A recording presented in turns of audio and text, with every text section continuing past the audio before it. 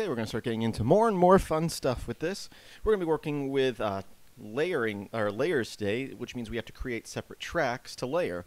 So first I'm going to show you what we're going to do in the command line, but using Kdenlive, which is using the same backend that we're using. So uh, I have two clips here, short little two second clip of uh, my mom and my sister and my niece.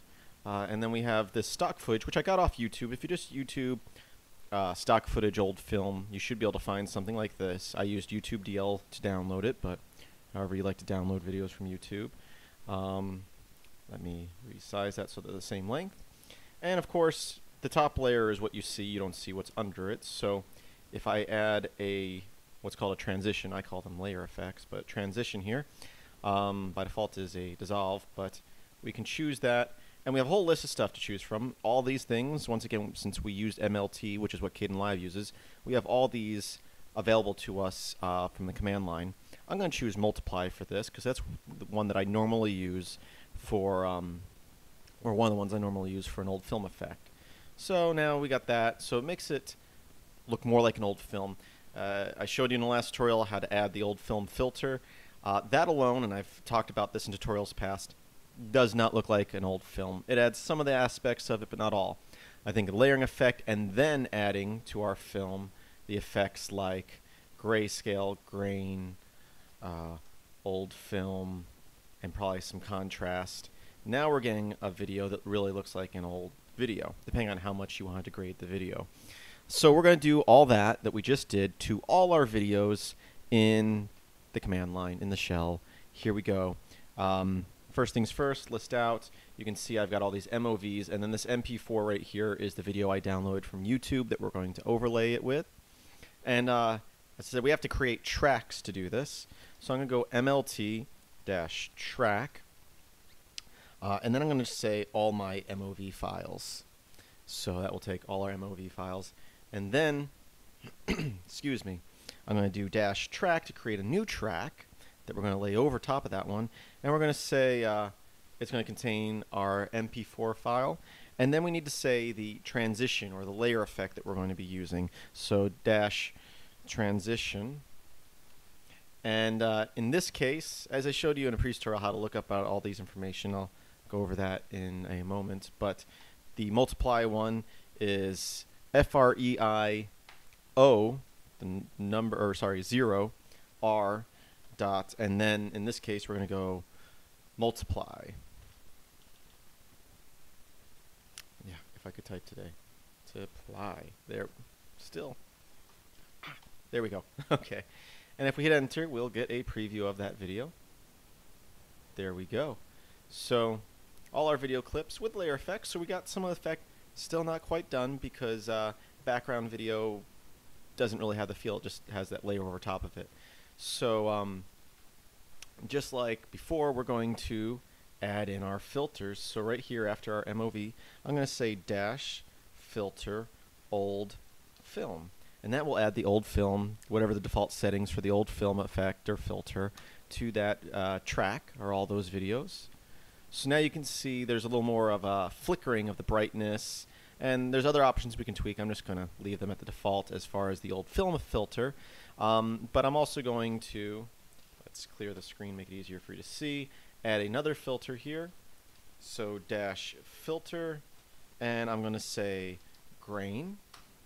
We'll have a look at what that looks like. So now you can see the video is grainier. Once again, uh, the more um, uh, effects, uh, filters I add, uh, the slower this this preview look is, but we'll get a which actually looks once again kind of good because it's kind of a jerky, which you're going to get with a film, which is something you can do with the speed effect and the strobe option in it. I'm not going to get into that in this tutorial, but we added the grain. Of course, um, I also like to uh, add a uh, contrast. So uh, let me look at my notes here real quick. Okay, dash filter F R E I 0 R dot contrast O R 0 R and then space and capital C for contrast and we'll give it a value of 0.8 which going to make it a very contrast video make it look, look a little darker Once again, all for the effect you're looking for. You might lose some quality, but we're trying to make it look like an old film, so of course we're going to lose some quality. And if you'd like, depending on what you're going for, you can say dash uh, filter grayscale and make it look like so. There's actually still a little bit of color in here because we haven't added any effects to our top layer, um, which is fine because it kind of makes it look like uh, it's projecting it on a kind of a tan screen. But if you wanted to, of course, we can add the filter for that video uh, right here. We should be able to go dash grayscale.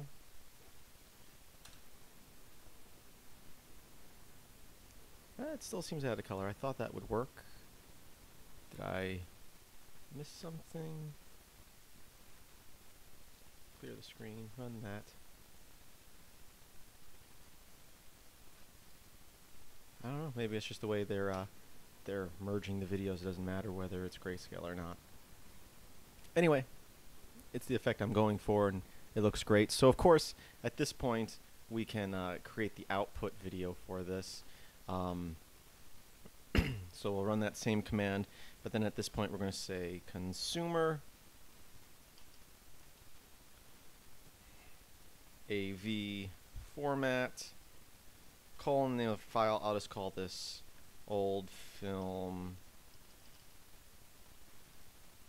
uh, 2 dot AVI and I'll say once again v codec equals libxvid and uh, for quality I'll say b equals 5000 which I actually think when I save stuff in Kdenlive, I save it at about 8000 8000 to 12000 I think is usually what I pick from the drop down let me set that to 8000 especially with all the flickering and stuff you want a better quality or else you might get some more pixelization which we kind of did in the first old film video we made so um, Oh, before I do that, let me cancel that. Q, we'll cancel that. Let's run it again without saving it. We'll just run the preview. The uh, uh, video that I downloaded from YouTube, the stock footage of the old film uh, effect that I'm layering over this track of all the videos, is only 30 seconds long. Well, I have like 45 seconds of video clips here. So there's things we can do. We can add uh, another version of it over top uh, and then trim that back. But uh, what I'm going to do is just cut the video for right now where it cuts out, which I think is around uh, frame 900 something. There we go. So it still has the flickering and the film, all the effects we set to the first track, but the second track is gone. So what I'm going to do is I'm just going to say uh,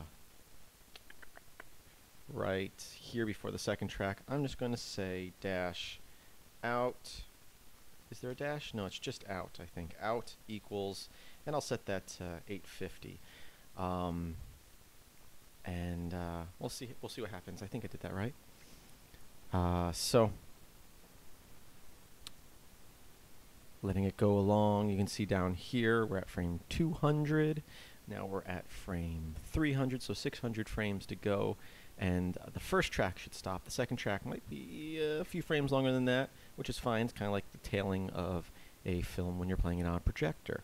Um, we've got about 200 frames left, and the video should stop right about. No. Of course, of course, when I'm. I did this earlier and it worked no problem, uh, but the second I tried to do it here, I have an issue. Give me one second here. Let me look at my notes. Once again, I am kind of new to uh, MLT and Melt. Um,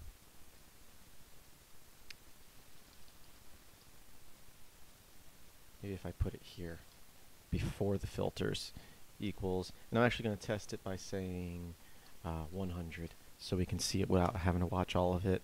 That, uh, that track will hopefully stop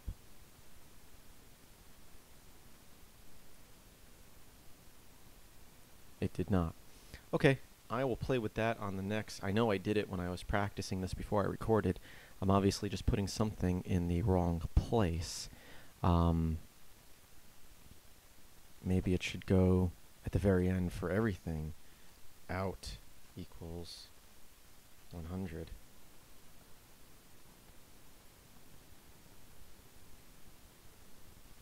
Ah, there we go. That cut the first track there. Okay, so that, that should work.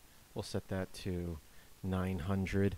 Um, a little confused on why it works like that. I'll have to play with it more. Uh, but um, once again, we'll go to the command we typed in earlier to save it, and we'll put that out equals 900. We're going to look at other ways of doing this in the future, so I'm not going to get too much into it. I've already spent enough time on it. Um, but we're saving an output video now. Uh, should be 900 frames long of oldfilm2.avi as an XVID, and um, I will play that here at the end so you can see what it looks like. And uh, that's our output video. Please visit filmsbykris.com. That's Kris with a K. Check out the link in the description. I hope you enjoyed this tutorial, and I hope that you have a great day.